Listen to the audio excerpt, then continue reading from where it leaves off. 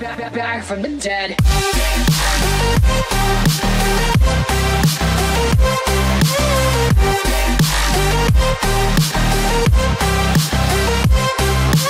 Back from the dead.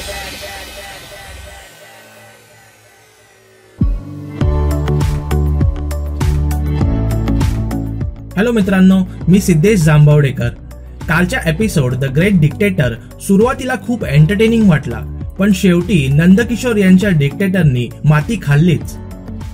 या सीझनमध्ये पहिल्या दिवसापासूनच महिलांना टार्गेट केलं जातंय. जनतेच्या तीव्र प्रतिक्रियेनंतरही महिला सदस्यांचा अपमान शो मध्ये वारंवार आपल्याला बघायला मिळतोच आहे. एका महिलेला पुरुषाच्या पायासमोर नाक घासायला लावणं याच्यात कोणतं आलंय एंटरटेनमेंट एका चित्रपटातही असे सीन शूट करण्याच्या आधी सेन्सर बोर्ड आक्षेप घेईल का याची भीती डायरेक्टरला कुठेतरी वाटत असते. पण इथे यांनी तर कहरच केला.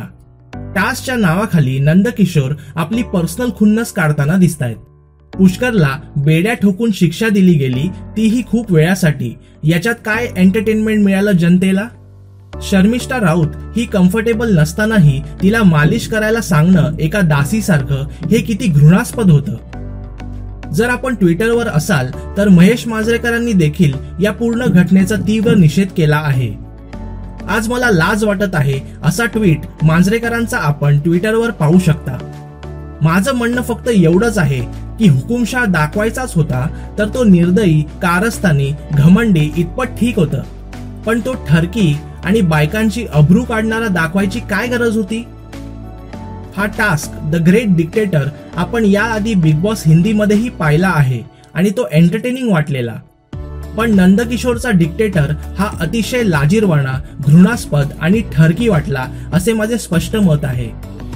असा हुकुमशाह जर आपल्याला खऱ्या जीवनात भेटला तर त्याला चपलेनी मारा हे तुम्हा सगळ्या महिलांना माझं सांगणं आहे.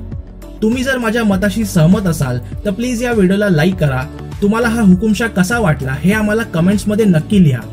आमच्या चॅनल आय हॅव अ प्लॅनला सबस्क्राईब करा आणि बेल आयकॉन नक्की दाबा.